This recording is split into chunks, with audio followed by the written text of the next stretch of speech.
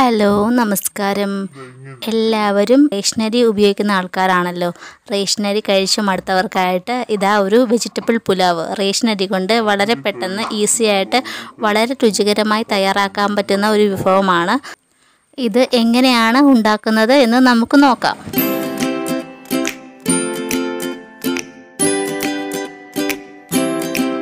ഇതിനായിട്ട് ഞാനൊരു സവോള നീളത്തിൽ അല്പം കനത്തിൽ അരിഞ്ഞിട്ടുണ്ട്.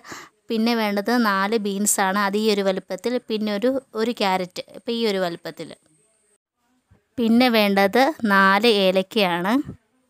പിന്നെ കുരുമുളക് പൊടിക്കാത്തത് പിന്നെ ഉണക്കമുന്തിരി ഒരു തക്കോലത്തിന്റെ ചെറിയ കഷ്ണം പിന്നെ കറുവപ്പട്ടയുടെ ഒരു ചെറിയ കഷ്ണം രണ്ട് ഗ്രാമ്പു കുറച്ച് കശുവണ്ടി. പിന്നെ വേണ്ടത് അരിയാണ്. ഇത് റേഷൻ അരിയാണ് ഇതൊരു പത്ത് മിനിറ്റ് നേരം വെള്ളത്തിൽ കുതിർത്തിട്ട് കഴുകി വാരി വെച്ചിരിക്കുന്നതാണ്. ഇനി ഇത് എങ്ങനെയാണ് ഉണ്ടാക്കുന്നത് നോക്കാം. നമ്മളിതൊരു കുക്കറിലാണ് തയ്യാറാക്കുന്നത്. അതിനായിട്ട് കുക്കർ അടുപ്പിൽ വെച്ചിട്ട് ഒരു ടീസ്പൂൺ നെയ്യും രണ്ട് ടീസ്പൂൺ സൺഫ്ലവർ ഓയിലും ഒഴിച്ചു കൊടുക്കാം. എണ്ണയും നെയ്യും നന്നായിട്ട് ചൂടായാൽ ഇതിലേക്ക് കശുവണ്ടി പരിപ്പും ഉണക്കമുന്തിരിയും ഇട്ട് കൊടുക്കാം.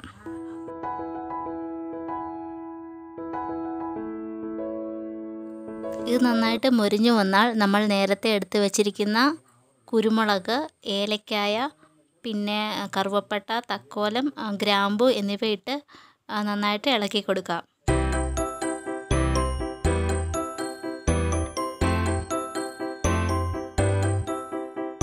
ഇത് നന്നായിട്ട് മൂത്തിട്ട് നല്ല മണം വന്നു കഴിഞ്ഞാൽ ഇതിലേക്ക് നമ്മൾ അരിഞ്ഞു വെച്ചിരിക്കുന്ന സവോള ഇട്ട് കൊടുക്കാം. സവോള ചെറുതായിട്ട് ഒന്ന് വാടിയാൽ മാത്രം മതി. കൂടുതൽ വഴന്നു പോവണ്ട. അതിനുശേഷം അതിലേക്ക് നമ്മൾ ക്യാരറ്റും ബീൻസും കൂടെ ഇട്ട് കൊടുക്കാം. ക്യാരറ്റും ബീൻസും ഒരുപാട് വാടണ്ട ചെറിയ രീതിയിൽ ഒന്ന് വഴറ്റിയെടുത്താൽ മതി. ഇതിലേക്ക് ആവശ്യത്തിന് ഉപ്പ് ചേർക്കാം. ചോറിനുള്ള ഉപ്പും കൂടി കണക്കാക്കി ഇതിലേക്ക് ഉപ്പ് ചേർക്കാം. ഇതിലേക്ക് അരി ചേർത്ത് കൊടുക്കാം. ഞാനിവിടെ ഒന്നര ഗ്ലാസ് അരിയാണ് എടുത്തിരിക്കുന്നത്. ഇത് നന്നായിട്ട് കഴുകിയിട്ട് പത്ത് മിനിറ്റിന് വെള്ളത്തിൽ കുതിർത്തിട്ട് വെള്ളം വാർത്തെടുത്തതാണ്. ഇത് നമുക്കിതിലേക്ക് ചേർത്തിട്ട് നന്നായിട്ട് ഇളക്കി കൊടുക്കാം. ഈ അരി ഒരു അഞ്ച് മിനിറ്റോളം വലിയ തീയിൽ വെച്ചിട്ട് ഒന്ന് വഴറ്റിയെടുക്കാം. അപ്പോൾ നന്നായിട്ട് വഴന്നിട്ടുണ്ട്.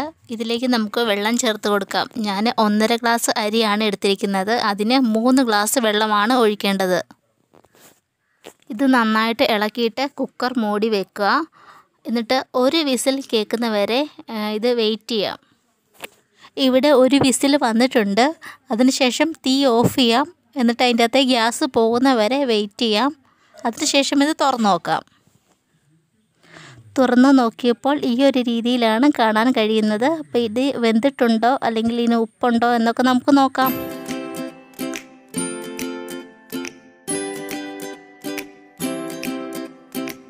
ഇതിന്റെ വേവൊക്കെ പരുവമായിട്ടുണ്ട്. ഇതിൽ വെള്ളമൊന്നും കൂടുതലൊന്നും ഇല്ല നന്നായിട്ട് വന്നിട്ടുണ്ട്. ഇത് കഴിച്ചു നോക്കിയപ്പോൾ നല്ല ടേസ്റ്റി ആയിരുന്നു. സലാഡിനൊപ്പം ഇത് കഴിക്കാൻ വളരെ നല്ലതാണ്. നിങ്ങളെല്ലാവരും ഈ ഒരു റെസിപ്പി ട്രൈ ചെയ്യണം. തീർച്ചയായും നിങ്ങൾക്ക് എല്ലാവർക്കും ഈ റെസിപ്പി ഇഷ്ടപ്പെടും. വളരെ ടേസ്റ്റിയാണ് അപ്പോൾ എന്റെ ഈ റെസിപ്പി ഇഷ്ടപ്പെട്ടാൽ എന്റെ ചാനൽ സബ്സ്ക്രൈബ് ചെയ്യാനും മറക്കരുത്. അടുത്ത വീഡിയോയിൽ കാണും വരേക്കും. ബൈ